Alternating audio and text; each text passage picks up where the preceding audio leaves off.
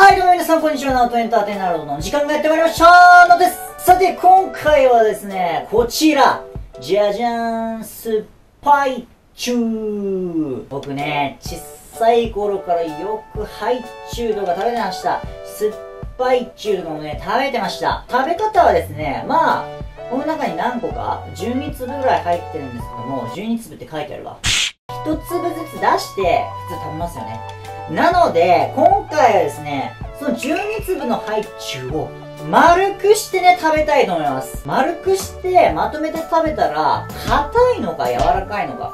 それね、最近になってね、すっごい気になったんですよね。なので今からその全12粒を全部丸めてみたいと思います。では、それでは早速やってみましょう。レッツキヨでは、スパイチュウ全部出したいと思います。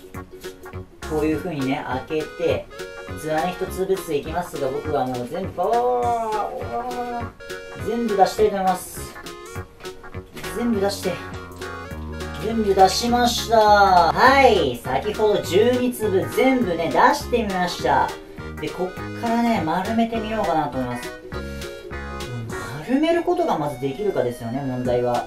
ではいきますよ。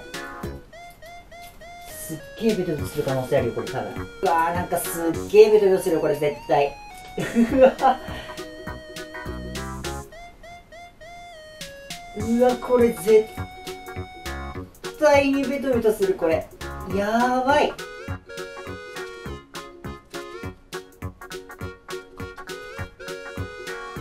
あのね丸めていくうちにねすっごい酸っぱい匂いするねこれ。うわ待ってこれめちゃめちゃいい匂いすんじゃんこれ。さすが酸っぱいっちゅうだね。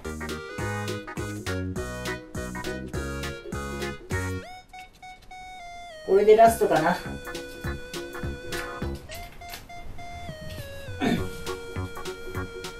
はい全部ねなくなりました。あとはねこれをねえー、1個にまとめたいと思います。これさすっごいベトベトだよこれやばいこれうわすごい甘い香りするさすがだねこれやるとさすっごい腕鍛えられるんじゃない？もうちょっとね、右手血管出てるもんね。はい、一つにまとめました。まとめたらこんな感じになりましたね。では早速ですが、これが硬いのか、それとも柔らかいのか、ちょっと食べてみたいと思います。いただきます。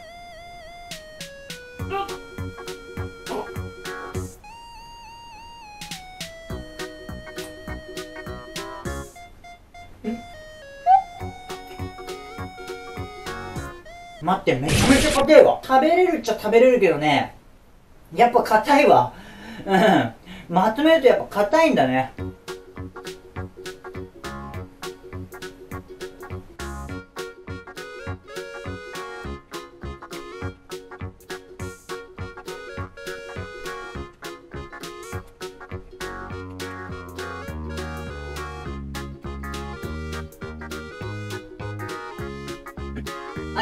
はい全部食べ終わりました。パイチュー全部丸めたやつ。ごちそうさまでした。12個全部丸めてね食べるとね顎マジ痛い。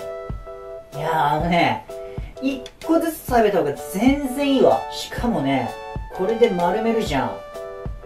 うわすっげうわすっげえベトベトする。あーでもめちゃめちゃいい匂い。なんか自分はこう片手で丸くしてるからなんかその影響で柔らかくなるかなと思ったけど1個ずつ食べるより全然硬いです。全部まとめて丸にして食べるのは顎すっごい疲れるし食べるのに結構時間がかかります。ということで今回ですねスパイ中全12個をまとめて1個に丸くして食べてみました。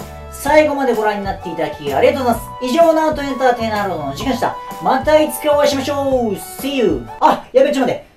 くっ、ああ、よかった。くっついたかと思った、俺の手。皆さん、ご視聴ありがとうございます。チャンネル登録、SNS のフォロー、よろしくお願いします。また、いつかお会いしましょう。